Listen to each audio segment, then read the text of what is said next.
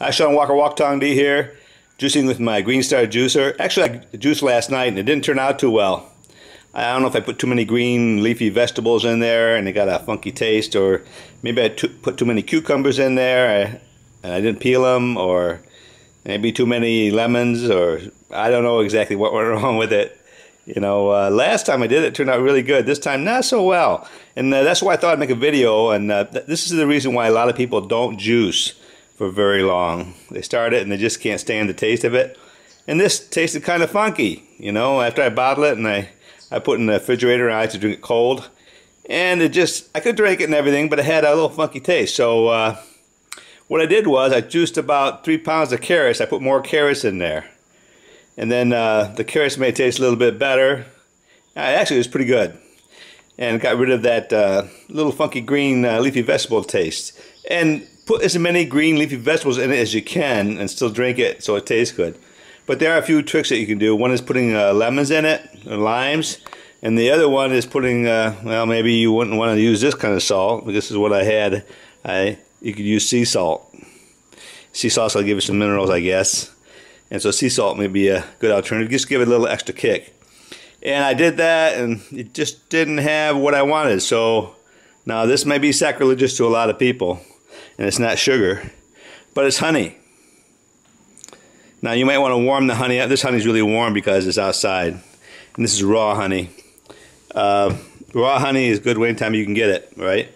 And so what I did was I mixed some raw honey in there. And you don't want to put too much in it. You mix it in until it just gives it a little sweet taste.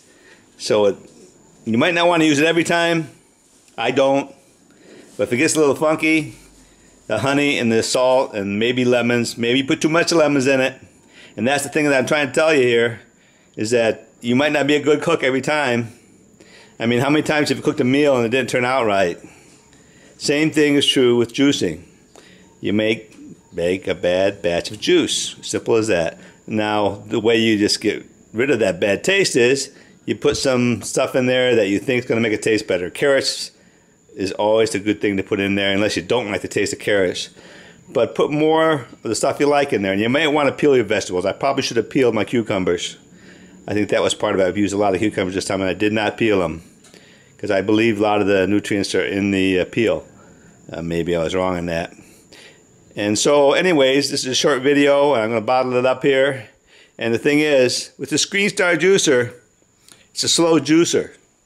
80 RPMs, I think.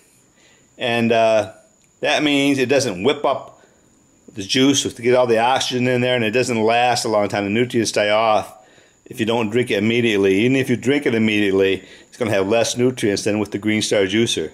Or an Omega juicer. You want a slow speed juicer. And so uh, this juicer says you can keep it three days in the fridge.